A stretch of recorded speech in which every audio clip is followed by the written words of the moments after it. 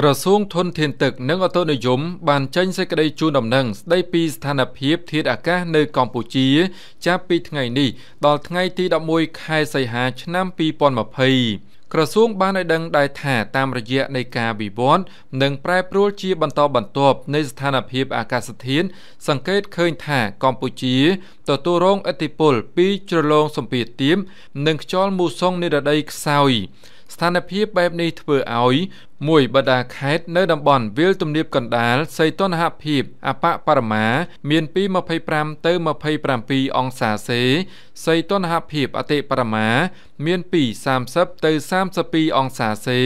ភ្លៀងនឹងបន្តធ្លាក់នៅក្នុងកម្រិតបរិមាណកើនឡើងពីតិចទៅច្រើនជាលំដាប់ទន្ទឹមនឹងវិសាលភាពរីករាយប៉ាយផងដែរ 2បណ្ដាខេត្តនៅតំបន់ជួរភ្នំដងរែកនិងខ្ពង់រាបឦសានសីតុណ្ហភាពអបបរមា មានពី23ទៅ25អង្សាសេសីតុណ្ហភាពអតិបរមា មានពី28ទៅ30អង្សាសេនិងអាចមានភ្លៀងធ្លាក់រាយប៉ាយនៅក្នុងកម្រិតពីតិចទៅច្រើន។ 3បដាខេត្តនៅតំបន់មាត់សមុទ្រសីតុណ្ហភាពអបបរមា មានពី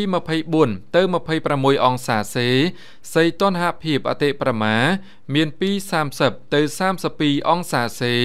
និងអាចមានភ្លៀងធ្លាក់រាយប៉ាយនៅក្នុងកម្រិតពីតិចទៅបង្គួរ